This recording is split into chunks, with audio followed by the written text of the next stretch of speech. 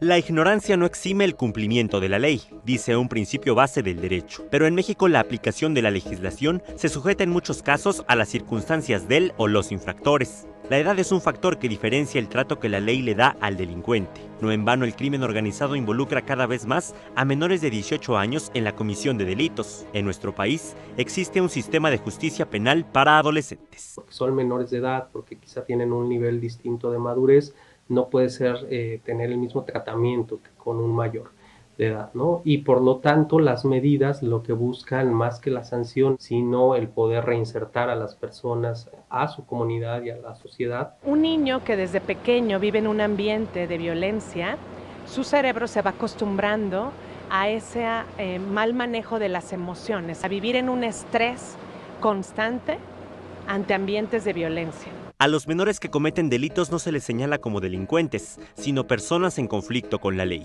El sistema es aplicable para quienes delinquen entre los 12 y 17 años de edad. Aquellos que tienen menos de 12 son inimputables, es decir, que bajo ninguna circunstancia pueden ser sujetos de responsabilidad penal. El internamiento debe ser considerado como la última y más extrema medida de sanción del adolescente. Los infractores de entre 12 a 14 años no pueden ser privados de su libertad y quienes incurren en delito pero son menores de 16 y mayores a 14 pueden cumplir la medida de internamiento por tres años. Otra serie de medidas también, ¿no? Que pueden ser, por ejemplo, el, internamiento, pero en un centro eh, abierto. Esto es que durante la semana estén en su casa y en una escuela y se internen los fines de semana, que durante su detención, procesamiento y en la sanción tengan posibilidad de estar eh, acompañados también eh, por expertos, expertas psicólogos, sociólogos. En el caso de menores de 18 pero mayores a 16, la pena máxima puede ser de hasta 5 años de internamiento, pero también existen penas no privativas,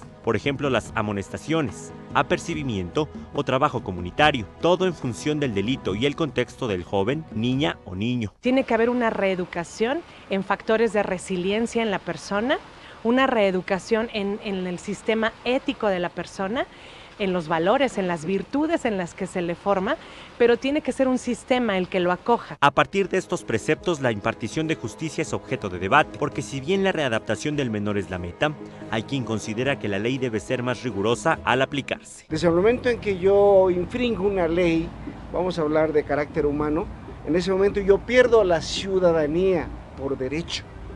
Sí, y esa, esa ley que me protege a la vez, ¿verdad? Por una buena conducta, pues ya no me da esa protección. El proceso de normalización de la violencia en el país ha sido tal que hoy en día pues hay muchos actos atroces cometidos por infancias y lo que tenemos que hacer es prevenir más que sancionarlos. Hasta el último censo del INEGI especializado en sistemas penitenciarios estatales, a nivel nacional había 1.392 menores de edad en los centros de internamiento de México. Aldo Hernández, Imagen Noticias